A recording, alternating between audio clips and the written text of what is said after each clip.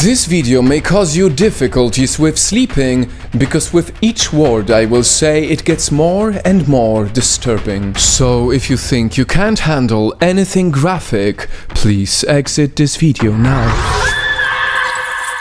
Because this is the true crime story of the woman who for many days was tortured, whose body was chopped and cooked in boiling waters, and whose head was found inside this Hello Kitty doll. You are watching Crime Tales. After nightfall. It all started from a 14 year old girl named Ah Fong. Who told the police she was being haunted by the ghost of someone dead. The ghost of a 23 year old woman tortured to death, Fan Man Yee.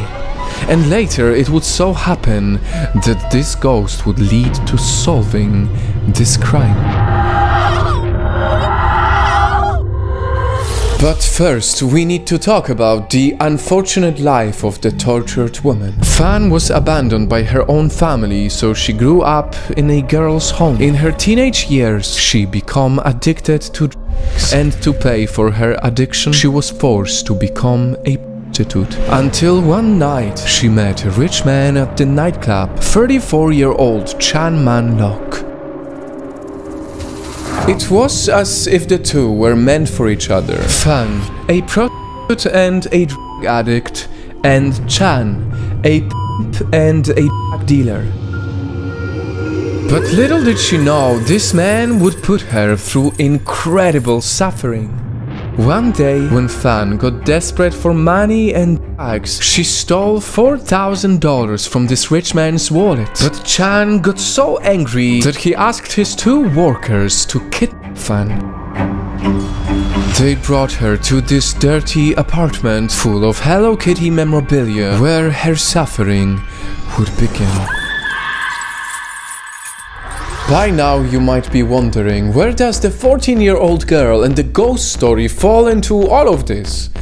Well, for that, please keep on watching. Let's go back to the story in 3, 2, 1. Every day for a month, these three men tortured her. They tied her up and beat her. They hit her head multiple times. They burned her skin. They forced her to eat human feces. They abused her in ways no human could ever survive.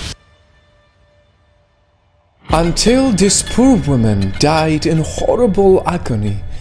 But they weren't done yet. Because when Fan died, they put her head inside a Hello Kitty doll and cooked other pieces of her body before disposing it all. I know this is difficult to watch, but it's time we finally speak about the 14 year old girl who claimed she was haunted by the ghost of this tortured women.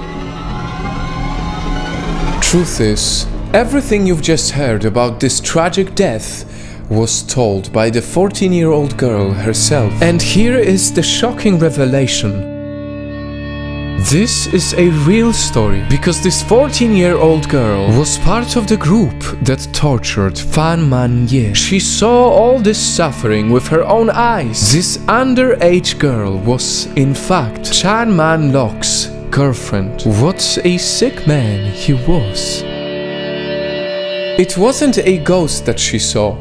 It was her conscience that couldn't take it anymore. So she went to the police to turn herself and the three men in. If it wasn't for her, perhaps no one would ever know what happened. And that would be an even bigger tragedy.